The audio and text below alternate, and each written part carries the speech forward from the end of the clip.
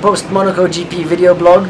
Uh, all in all, you know, it's been a great weekend for me. Finishing second here at home is, is just uh, very special, um, and it's great to see, you know, how we're improving also as a team. You know, getting better and stronger and stronger. The last four races, I'm the one who scored the most points, you know, which really shows that we're uh, quite consistent also, and uh, that's you know that, that's why the near future can look really good for us uh, next upcoming races.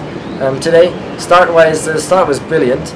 Um, but uh, Mark also got a fantastic start, and he just controlled the race from there. Just really did a great job uh, controlling the tires and everything. So there was no way for me to uh, to beat him. Even though I think that I had the best car this weekend, um, which is great. And unfortunately, didn't quite make it for the win. But second place is is uh, fantastic too. And um, then on on the hard tire for the second stint, it was quite challenging because the warm up um, temperatures really dropped.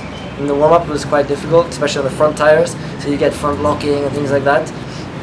And then also as the rain started to come, wow, that was really uh, tough conditions. I mean, seriously, you get to the next corner and you just don't know, you know, how, how much grip is there going to be, and the tire temperatures were dropping, so they were just sliding more and more the tires, and that was really uh, on the limit.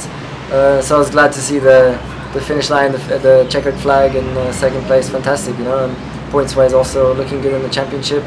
Um, no, and that's it. Now I'm, uh, I'm really looking forward to Canada. A because I think they have a really good car for there, and B quite funny is now uh, my father uh, can't give me any advice anymore with F1 because I have more experience than him now because I've done just as many races as he did in his career.